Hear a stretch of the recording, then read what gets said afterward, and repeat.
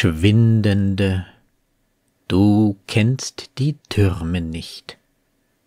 Doch nun sollst du einen Turm gewahren mit dem wunderbaren Raum in dir. Verschließ dein Angesicht, aufgerichtet hast du ihn ahnungslos mit Blick und Wink und Wendung, plötzlich starrt er von Vollendung, und ich, seliger, darf ihn beziehen. Ach, wie bin ich eng darin, schmeichle mir zur Kuppel auszutreten, um in deine weichen Nächte hin mit dem Schwung schoßblendender Raketen mehr Gefühl zu schleudern, als ich bin.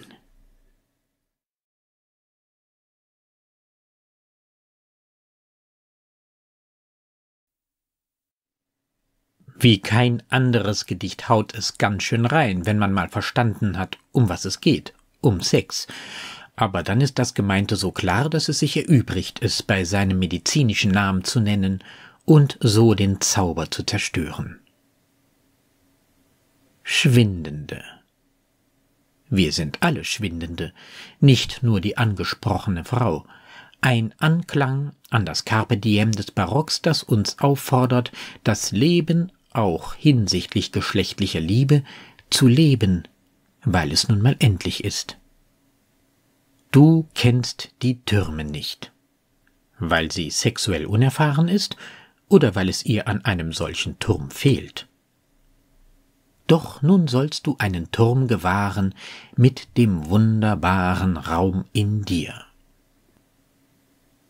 Es gibt sehr derbe Namen für diesen gemeinten Vorgang, aber eben auch eine solch schöne poetische Darstellung. Verschließ dein Angesicht. Soll das heißen, mach die Augen zu? Vielleicht in dem Sinne, dass man vor allem nun innerlich fühlt, anstatt äußerlich zu sehen. Aufgerichtet hast du ihn ahnungslos mit Blick und Wink und Wendung. Ahnungslos ist es vielleicht im Sinne von unschuldig und unschuldig vielleicht in dem Sinne von Shakespeare, wenn scheue Liebe kühner wird und nichts als Unschuld sieht in inniger Liebe tun. Mit diesen Worten erwartet Julia ihren Romeo in der Hochzeitsnacht.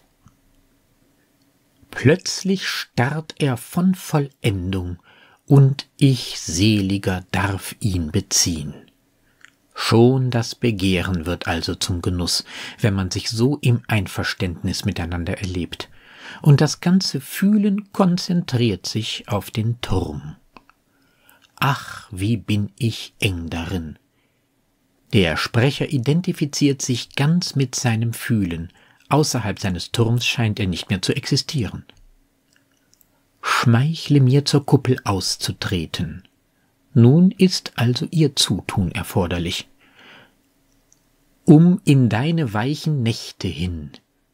Hier verbindet sich die übliche Tageszeit solchen Tuns mit der Dunkelheit des Raums, in dem der Turm sich gerade befindet. Mit dem Schwung schoßblendender Raketen. Eine Anspielung auf den farblichen Kontrast, Weißes wird ins Dunkel geschleudert, wie die Raketen eines Feuerwerks in die Nacht. Mehr Gefühl zu schleudern, als ich bin. Die Identifikation mit dem Gefühl geht im Moment der Ekstase also über 100 Prozent hinaus. Man kann diese Überwältigung von dem, was da die Körper mit einem machen, nicht besser zum Ausdruck bringen.